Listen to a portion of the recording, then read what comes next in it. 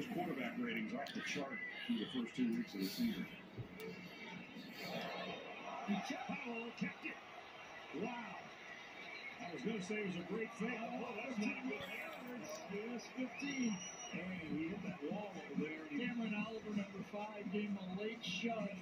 You know, Jack Tuttle got hurt last year with knee injury, missed most of the year, and now he gets shoved right up to the end of it with his shoulder, grabbing that left shoulder.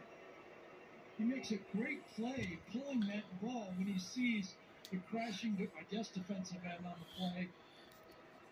But watch the late shove, and then he goes over the benches, loses his balance. into the tripod after a collision with a Gatorade hurdle. Oh man. Jack Tuttle, four-year starter at IU, transfers. He's the veteran backup. One more look at the play. He senses the crashing end. He keeps it. Maybe he got it down from the five. The 15 yard penalty is added to the end of the run.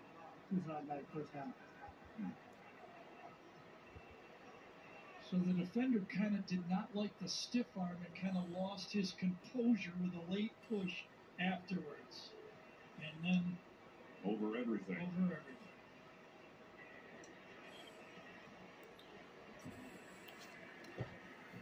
Watch the stiff arm to the face mask, and then just a little bit of loss of composure. He gets upset, and then You don't expect to have that many obstacles that close. well, But, you know, the sideline's only so big. He's up and he's okay. Yeah. Looked like he said, it's just my shoulder. Well, you only get two of them. Barry Odom apologized to him, shaking hands. Good sportsmanship there. Total goes, My part. I didn't, yep.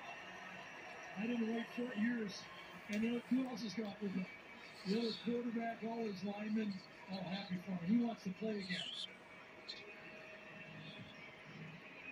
He's going to come out for one play. Probably Davis Warren going in, maybe, to uh, at least play a, one play before he can gather himself. and that is going to be the call. Davis Warren coming in at quarterback.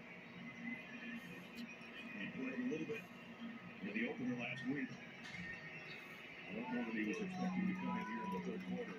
Jack Tuttle just trying to rotate that arm. He's going in the tent.